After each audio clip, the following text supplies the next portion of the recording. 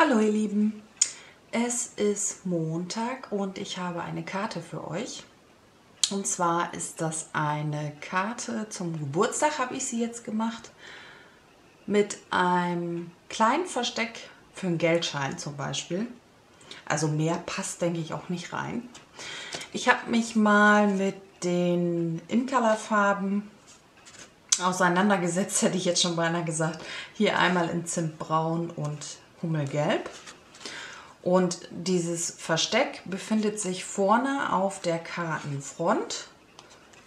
Also wie gesagt, ich habe hier jetzt einen Schein drin. Mit mehr müsst ihr schauen, wie es passt.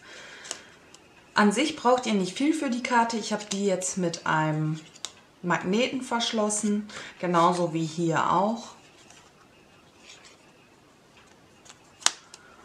Und was ihr dafür braucht, das zeige ich euch, beziehungsweise die Maße sage ich euch nach und nach. Das waren Zimtbraun und Hummelgelb. Heute nehmen wir das Magenta Rot. Und zum einen habe ich den Spruch genommen aus dem Stempelset Gute Laune Gruß. Das kommt aus der Produktreihe Blumen für jede Jahreszeit und das findet ihr im Katalog auf Seite 10, 11, 12 und 13. Die ganze Produktreihe heißt Blumen für jede Jahreszeit.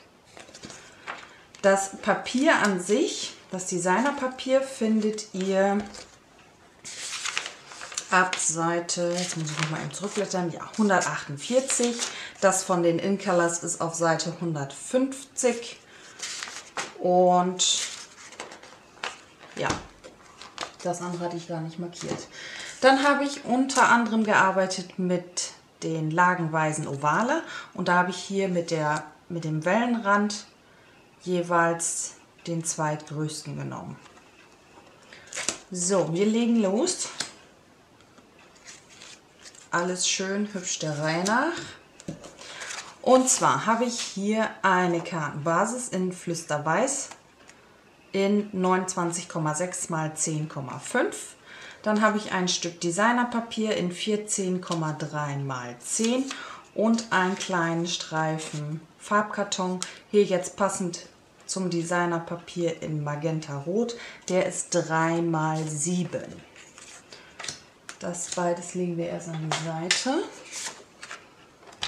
Und unsere Kartenbasis, na, kommst du wohl, falzen wir bei 14,8.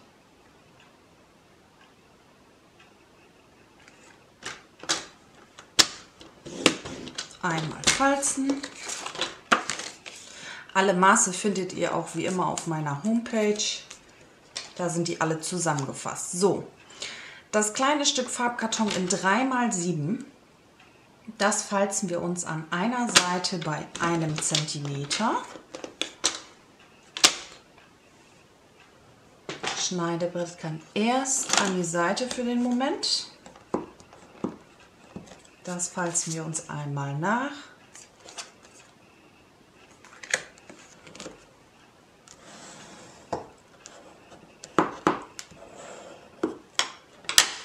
So, und bevor wir uns jetzt das Stück Designerpapier hier vorne aufbringen, bringen wir uns jetzt erst das kleine Stück Farbkarton an. Da schräge ich mir noch mal ein bisschen die Klebelasche an.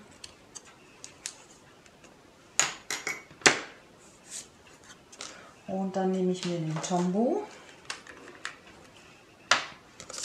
und bringe mir jetzt von innen, also wenn die Klebelasche so hoch kommt, von innen ein bisschen Tombow drauf. Das lege ich mal gerade beiseite. Leg mir das hier hin. Und unser Designerpapier legen wir jetzt mittig, also in der Höhe kommt dieser Streifen jetzt mittig unter das Designerpapier. Achtet darauf, dass ihr das Designerpapier jetzt nicht über die Falzlinie klebt. Also schön nah ran, nur nicht drüber her.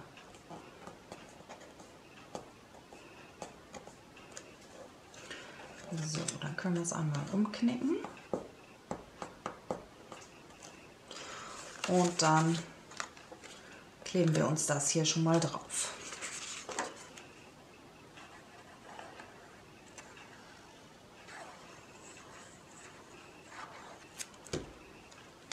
Einmal darauf achten, dass die Karte richtig rum geöffnet wird.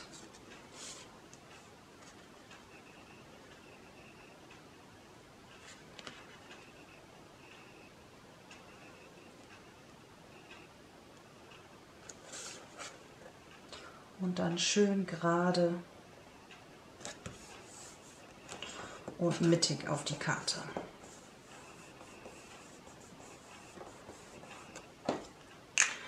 So, als nächstes, ich hole gerade noch mal eine von den anderen zurück, kleben wir uns hier den Aufleger und dafür braucht ihr ein Stück Farbkarton in 13,3 x 5 und ein Stück Designerpapier in 12,8 x 4,5. Da brauchen wir nichts falzen, das kleben wir einfach nur zusammen.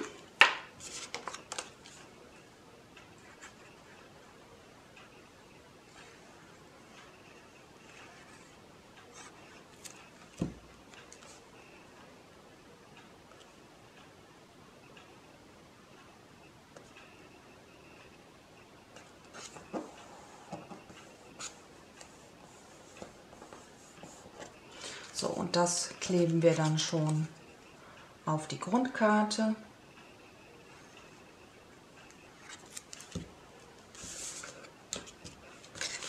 Das klappe ich mir einmal zur Seite und hier schaue ich jetzt, dass ich rechts, links und an der Seite ungefähr den gleichen Abstand habe.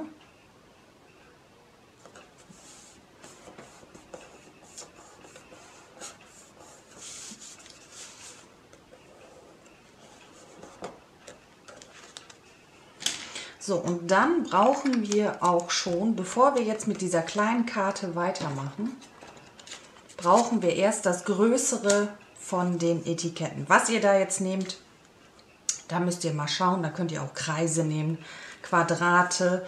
Ich habe hier ja zum Beispiel einmal Rechtecke genommen und einmal die Stanzen, wie heißen sie denn? Die gehören zu dem Stempelset gut gesagt. Ich schreibe es euch mal unten mit auf, welche Stanzform ich verwendet habe. So, das bringen wir uns jetzt als erstes hier an diese Lasche an. Dazu mache ich mir hier jetzt einfach ein bisschen Tombow drauf. Geht da nicht zu weit nach außen, je nachdem welches Etikett ihr da nehmt. Und das passe ich mir dann hier schon mal an, denn da drunter verstecken wir gleich den Magneten. Das möchte ich hier jetzt gerne schön mittig drauf haben und möglichst gerade.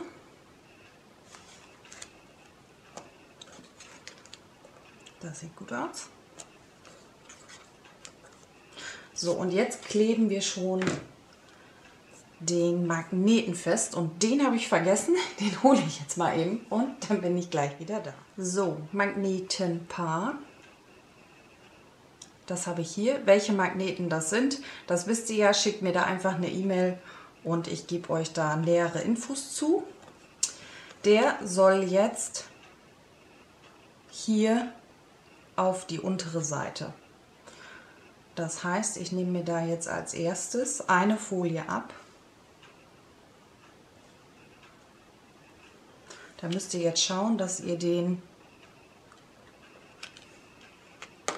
Oh. Ich nehme mal meinen Piekser zur Hilfe. Dann ist das nicht ganz so fummelig. Da ist er ganz weg. Also der soll hier unten unter das Etikett. Ich drehe mir das jetzt mal so. Das heißt, ich halte mir den hier hin. Setze mir den hier unten auf die Grundkarte. Den zweiten nehme ich jetzt ab. Und da mache ich mir jetzt von der Seite hier, von dieser Seite ist ja die Klebefolie, aber hier mache ich mir jetzt noch ein kleinen Glue dort drauf.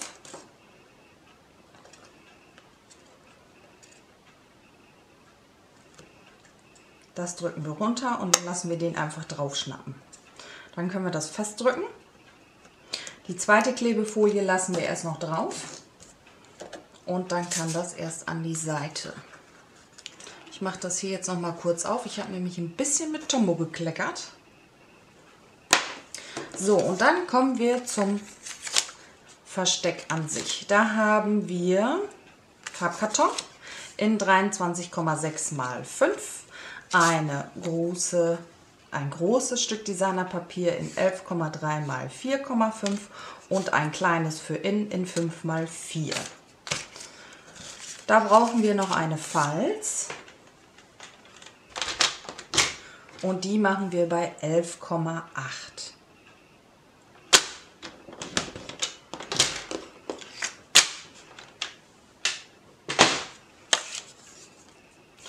Da schaue ich jetzt einmal nach, dass es ordentlich aufeinander liegt. Schön gerade. Und dann machen wir uns das Designerpapier da auch gleich drauf.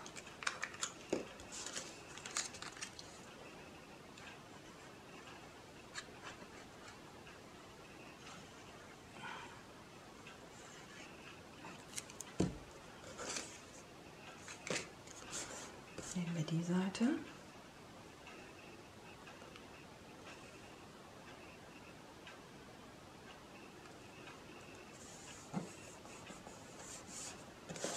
So, und dann haben wir das kleine Stückchen noch, das kommt nach innen. Und da müsst ihr jetzt darauf achten, ihr habt ja eine 4 und eine 5 cm Seite. Die 5 cm ist die Breite. Das heißt, hier an dieser einen langen Seite, da lege ich jetzt meinen Daumen hin. Da mache ich keinen Kleber hin. Nur an den drei anderen. Und auch nur ein ganz bisschen. Da braucht ihr gar nicht viel von dem Tombow.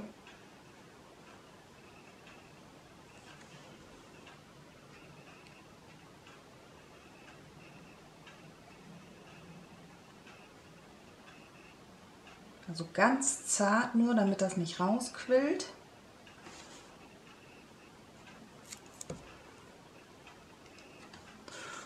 Und jetzt haben wir da Tombo, da Tombo und hier. Und das kleben wir uns jetzt hier unten an die untere Seite.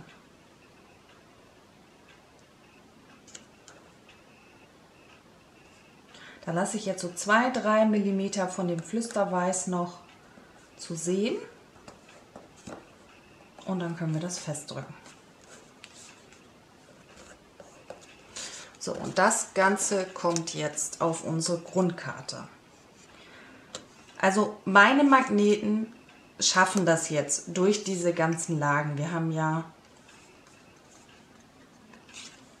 eine Lage Flüsterweiß, zweite Lage Flüsterweiß, das Designerpapier und hier den Farbkarton.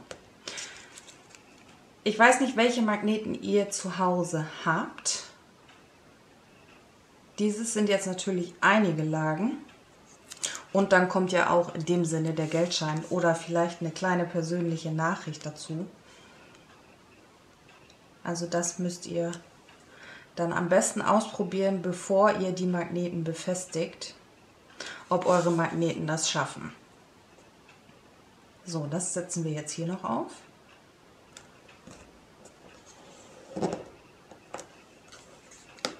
Das kann zu. Und dann habe ich hier mein Schild noch. Na, komm her. Und das kommt hier jetzt noch drauf. Da nehme ich mir jetzt ein Menschenholz für. Einmal schauen. Also hier an der Seite lasse ich jetzt gleich ein bisschen Platz, weil da haben wir ja den Magneten.